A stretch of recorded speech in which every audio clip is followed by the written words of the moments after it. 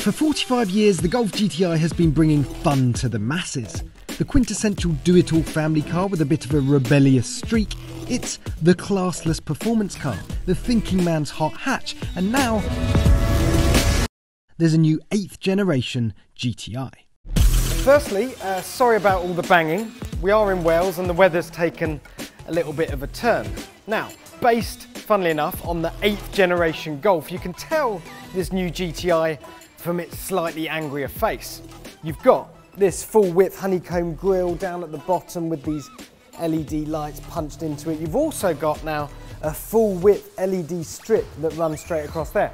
Sounds cool, but when you see it at night, I think you'll agree it looks a bit weird. Alloys that are trying a bit hard and round the back, wider set tailpipes and bigger GTI badges.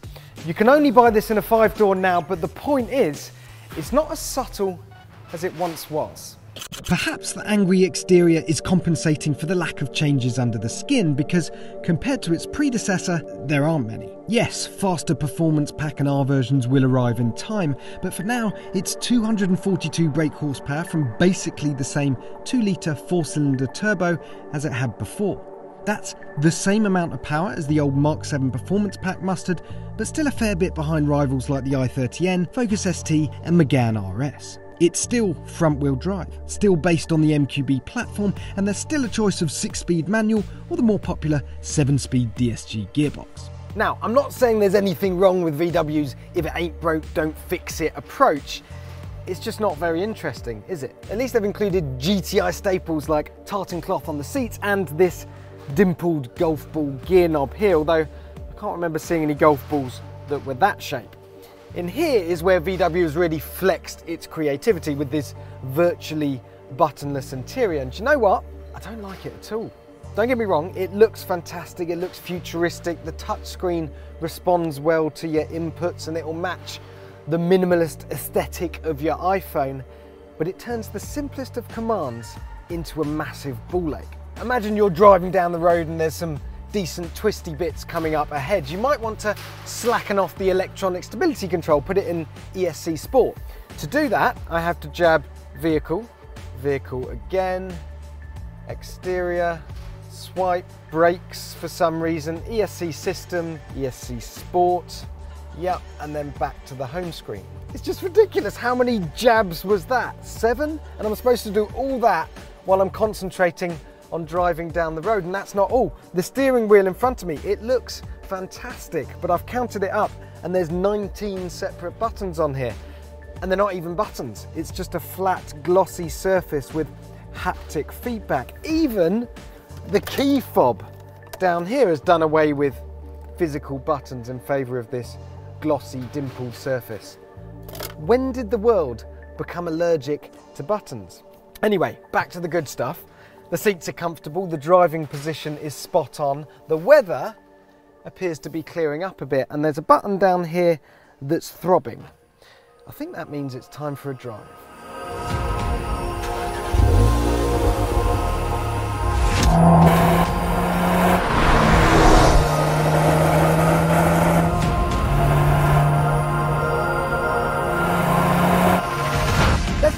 Get this out of the way early, shall we? This isn't a particularly fast car, not on paper or when you compare it to super hatches like the RS3 and Mercedes A45S. But the thing that you realise quite quickly is that doesn't matter half as much as you think it does. I mean, it's still pretty quick. And how fast do you want your front wheel drive hatch to be?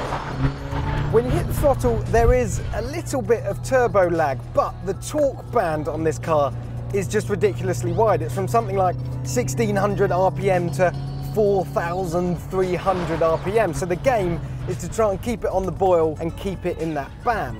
And with this manual gear shift that we've got here, which is quite light and precise, does a good job. And that little bit of turbo lag, there's a bit of old school flavour to the way this car drives and that's a very good thing.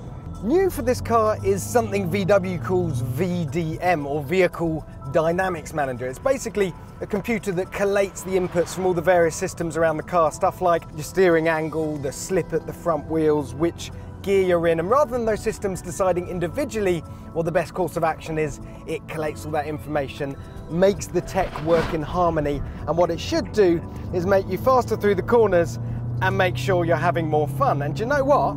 It works. It's not a night and day different driving experience to the Mark 7 GTI, but it does feel a little bit tauter, a little bit more agile. The suspension is stiffer, especially at the rear, which is designed to give the car a bit more playful attitude in the corners, a bit more adjustability on the throttle. Yeah, I'm enjoying this.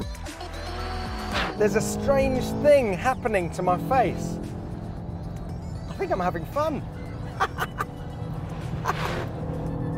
thing is, most Golf GTIs aren't going to be driven by the scruff of the neck most of the time. So, if I just back off here, knock back the DCC adaptive dampers, individual mode into their softest setting. That's done on a sliding scale now rather than three distinct settings, which is quite a nice touch. Then the GTI is very happy to kick back and play this refined, grown-up family car that's capable of covering big distances. Try doing that in the Megane RS or Honda Civic Type R without needing back realignment surgery afterwards. You can't.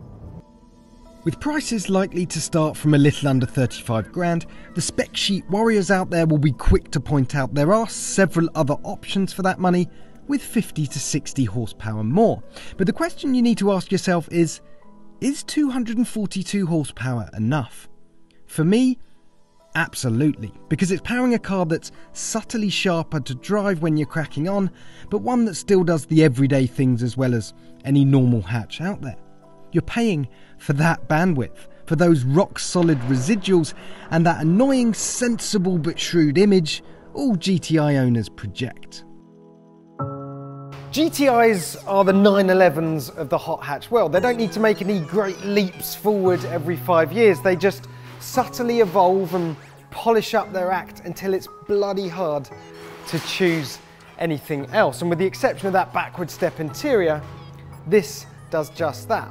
To paint a picture of what kind of a car this is, I'll make a prediction. We're here at Speed Week in Wales. We've got 18 contenders to choose from, and this is going to spend most of its time in the pit lane, unloved and ignored in favour of the shinier, faster stuff. But when it comes to the big drive home from Wales and who's going to keep this for the next week, I guarantee you there's going to be a fight for the keys.